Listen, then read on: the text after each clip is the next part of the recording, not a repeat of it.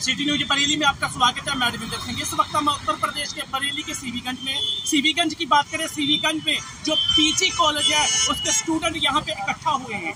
किस बात के लिए? और सिर्फ़ खुसरो कॉलेज को लेकर जो है, इकट्ठा हुए हैं कि उन्होंने हमारे साथ जो है जो पैसे का घोटाला किया है। घोटाला ऐसे किया है, फर्जी मार्कशीट की है। यदि बरेली की बात करें ये शेर अली जो जाफरी है उस पर मुकदमा लिख चुका है और जो है उनकी गिरफ्तारी को लेकर स्टूडेंट इकट्ठा हुए हैं। क्या है पूरा मामला? ये यदि इनकी गिरफ्तारी नहीं होती तो क्या कार्रवाई? बहुत ही ज़्यादा गरीब परिवार से हमारे घरों का तक नहीं पता क्या चल रहा है हमारे अगर यही हाल रहे तो हम सुसाइड कर लेंगे। हमारा करियर बर्बाद हो चुका है।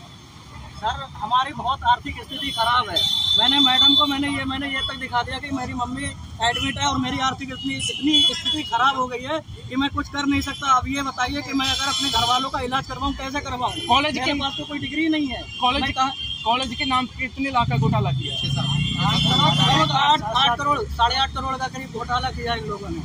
और सर मुझे इंसाफ नहीं मिला तो मैं फांसी लगा लूँगा। मुझे इंसाफ चाहिए। मैं सुसाइड कर लूँगा जाकर और मैं ये सारे इनकी जो जो भी मैंने इनसे बात की है, सारी मेरे पास है, वीडियो भी है, और मैंने जो भी फ़ोटो वगैरह, वो भी सारे डाले हैं। लेकिन ये लोग बिल्कुल भी मतलब हम आश्वासन देते रहे।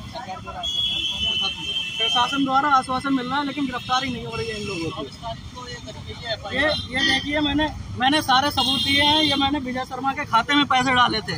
ये मैंने जाकिर कबीरी के खाते में जाकिर कभी और ये देखो, ये रमा मैडम है, ये रमा मैम है, इनके अकाउंट में सारे पैसे डाले, ये लेकिन ये हमारी मजबूरी नहीं समझ रही है। ये सारे रमा मैम के खाते में पैसे गए हैं। इन लोगों ने मुझसे पैसे जल्दी से जल्दी मांग लिए, लेकिन डिग्री नहीं दे रहे अभी ये लोग। ये सारी ये सारी फर्जी डिग्रियाँ हैं।